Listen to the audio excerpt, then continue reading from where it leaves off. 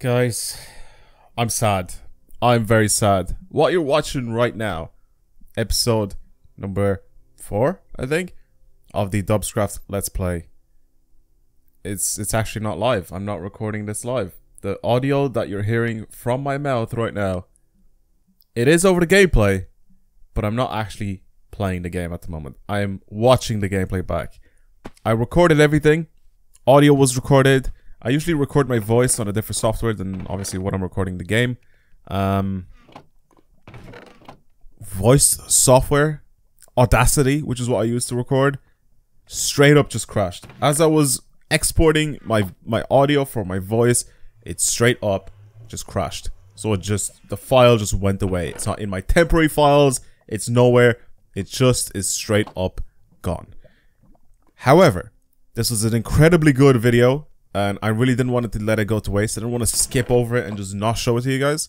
So I guess episode number four, this is pretty much what's happening. I'm gonna explain it kind of quickly to you. It's obviously not gonna be as long as what you're gonna be watching, but um, yeah. Basically, in this video, what I said is I'm gonna go full speedrunner mode on this. Uh, like try to do no armor or anything like that. So at the very beginning, I literally just went out. I'm, I'm getting a bit of food. Actually, I'm getting a lot of food just so I have food. And uh, the bread, obviously, obviously, you know, in the previous episode where I ended up falling in love and stuff like that, everything just burned. Everything was gone. Um, I think diamond pick was gone. A bunch of other stuff just straight up just gone. And uh, in this one, I decided to say to myself, you know what? I'm gonna go in pretty much just like a speedrunner. Minimal resources, minimal armor, and all that sort of stuff. The other thing I'm gonna get is food, uh, which of course I did have bread before, but bread isn't as good as actual meat and protein in this game. Meat or pro, pretty much technically protein in this game. So meat, fish, all that sort of stuff um, is really good in this game at giving you like more saturation or like your your your saturation doesn't go down as much. So basically, you don't get hungry as fast. Um, so eating any sort of like you know pork or, or or beef or anything like that or even fish is just really really good. So that's why i'm collecting all this sort of stuff. Now after i did all that i ended up getting a smoker and the smoker was really useful. Finished collecting all that sort of stuff and i i, uh, I just left it there in the smoker. I cooked a bit of beef just so i can have my my full health back. And uh, then I decided to go and get some gold, just because I didn't want those people to attack me. Those people, I called the uh, the um, the uh, what are they called? The the pigmen, whatever you want to call them, but the ones with the swords, the crossbows, all that sort of stuff. If you have gold on you, they won't actually attack you at all. So pretty much right now, I went down into this cave, just pretty much close to where I spawn, uh, or sorry, close to our bed, and um, yeah, got a bit of gold. Came back and I basically cooked all the gold, and uh, and then it's nether time. And then we just went straight into the nether, and this is where things get really really cool, right? And I really do wish that the original game, like the original audio was there just so I don't have to commentate over this because I know what happens here, you know? It's so much better when you see it like the first time around. So I basically went into the nether here and I thought to myself, like, obviously, first of all, I need to get a bunch of these blocks, you know, to be able to build in the nether. So I got a good few of them. And uh, then I thought to myself, you know, instead of going straight for the actual uh, fortress that way, the, the way I did before, pretty much, I was like, what if I just turn around and try to go the other way? You know, maybe get some ender pearls, go into the blue forest, get some ender pearls, and do all that sort of stuff. So this is where I turned around and I, I just went back, and I was like, you know what? Let's let's try it. Let's just let's just see. You know, maybe maybe this will this will be a little bit better of a of a way to go in, and um, yeah. So basically, this is what happened. Making my way up, right? No big deal. Just just climbing here, just just doing this, right? Getting getting a few more. I was like, you know what? Let's let's try to use our uh, our gold here on this dude. You know, maybe have him uh, give us maybe I don't know some fire resist potions, uh, so we can we can go there. I mean, I only have a few uh, bars of gold to use, um, but basically, this is pretty much what I need all the gold for. Is just to get um, you know to to trade with. So I was like, I'll trade with him, see what we get. We got a little bit of a, a soul speed book. Don't really need it at the moment, so it's pretty much it. Nothing really useful from him. But then I was like, let's just continue. We'll go this way. We'll go towards the the the blue forest. The blue forest obviously spawns a bunch of Endermen, so you could possibly get some Ender pearls there as well. And um, yeah, this is where I was contemplating which way I should go. Maybe maybe the the other way is is still better to go. Um, but again, like I said, I was just looking around, just trying to find uh, different ways to approach this uh, this fortress at, and then and then and then just watch this, right? Watch this clip right here. It's it's pretty mad. It's pretty mad with the way everything works here. So climb up here.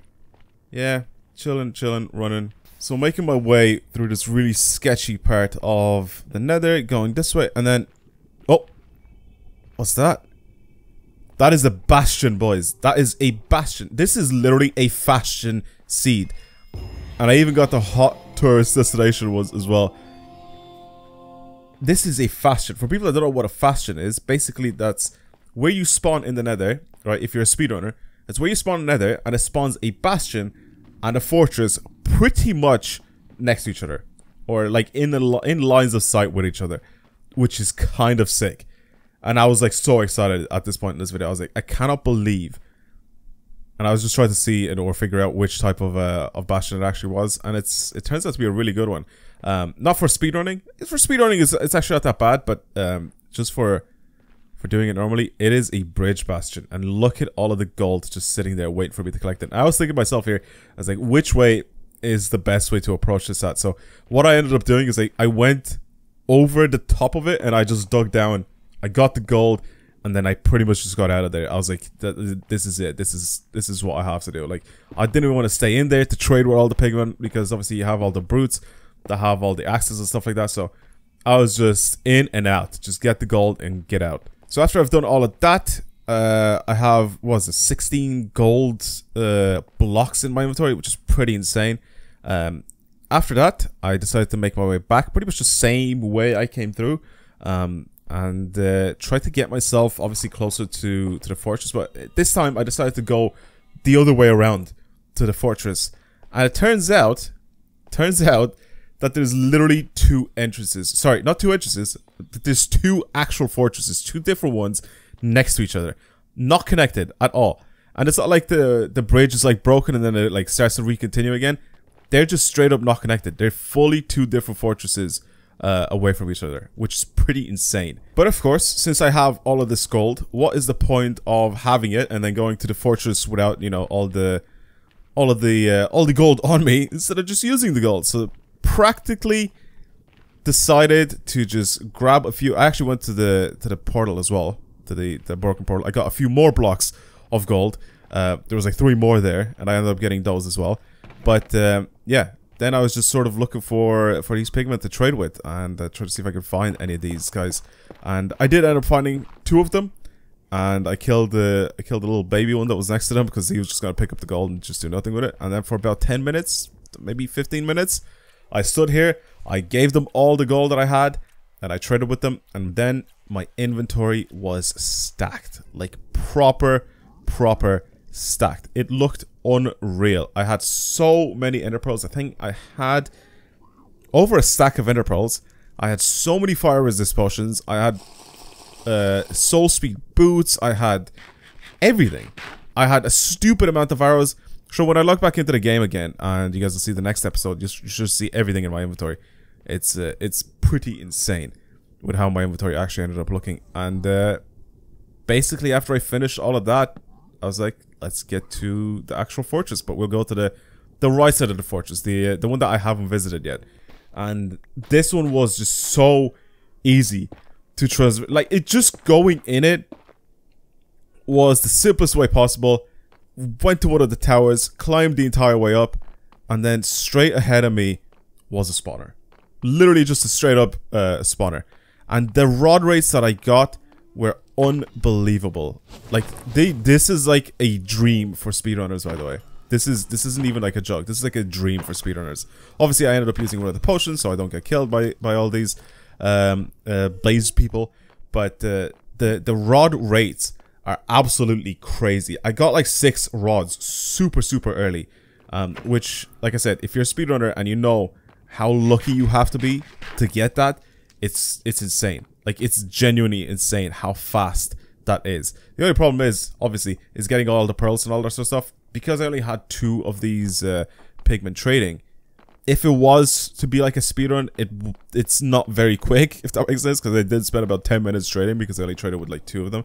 So ideally, I would have traded in the actual bastion and uh, you know gotten all of my ender pearls and everything there. But uh, basically, you know, I'm not actually trying to speedrun this, but it is unbelievable the rod rates that I had here. And pretty much did all that. I just cleared out all of these guys. I got, I think, like 8 rods or something like that, which was pretty insane. Way more than I actually need. I think that just gets me 16, like, uh, powder, so I don't really need that at all. And once I finished with that, I pretty much decided to make my way back. There's nothing else in that fortress. I, I ended up checking a chest. There was a gold horse armor, and that's, that's about it. Nothing else there. And then I slowly made my way back, um, pretty much all the way around the way I came. Got some uh, got some more quartz on the way just to get a few more XP, and uh, got also actually I ended up making a little bit of a detour. Um, there's a one of these like bone structure things, so I ended up going to the bone structure place and getting a lot of bone things blocks because I actually need bone meal. So what I was saying in this video as I was doing this um, is that uh, ideally what I want to do is I want to be able to get as much XP as possible. Um, even all the leather that I got from all of these guys, I'm going to use it to create books and then enchant a load of books.